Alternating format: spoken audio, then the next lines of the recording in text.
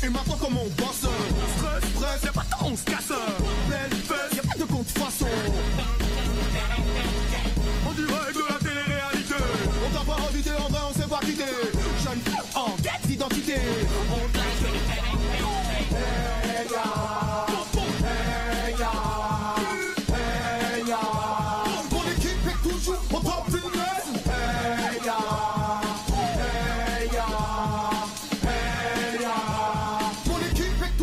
talk to nothing.